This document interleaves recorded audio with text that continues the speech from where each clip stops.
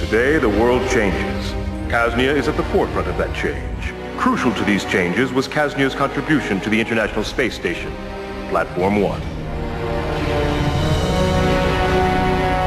A contribution somewhat larger than you've been led to believe. No, even he wouldn't.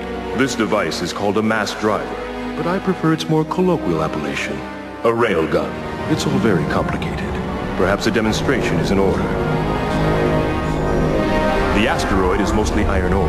The large coils are a magnetic accelerator.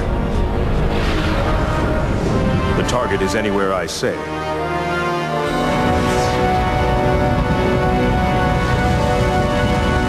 This time, were I the USS Abington Carrier Group, I'd pick up my pace substantially.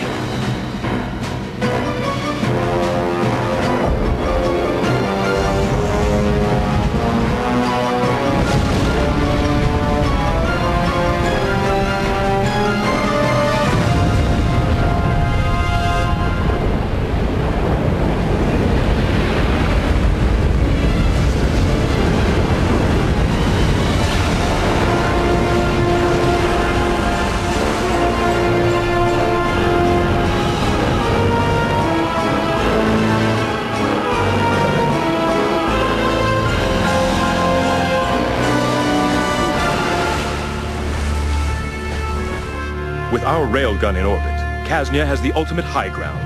I am now the dominant military power on Earth. And there are going to be some changes.